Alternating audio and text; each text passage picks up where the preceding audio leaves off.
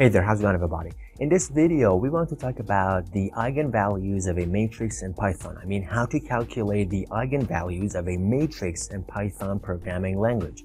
For example, here is a matrix which is called A, and we want to calculate the eigenvalues of this matrix. So we have defined this matrix, I mean matrix A, and remember, if you don't know about how to create or how to define a matrix in Python programming language, you should check my previous videos, which there is a link in the description below and also a link on the top right corner of the screen.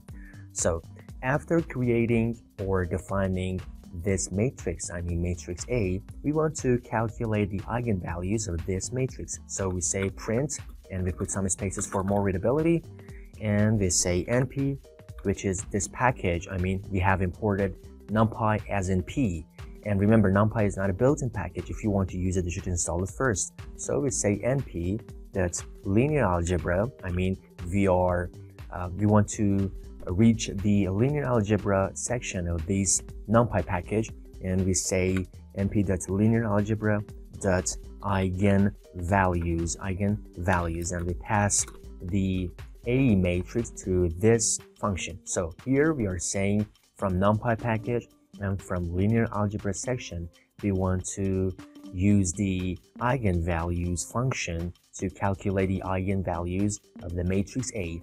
So if we run the code, you can see that the eigenvalues of this matrix, I mean matrix A, is, for example, the first eigenvalue is 11.72, the second eigenvalue is minus 5.52, and the third eigenvalue is minus 0.2 and you can see that we have the we have uh, calculated eigenvalues of a matrix in Python programming language. So here's how to calculate the eigenvalues of a matrix in Python programming language. There it is. Clicking on the like button really helps out the channel with the YouTube algorithm, so I would really appreciate it if you did.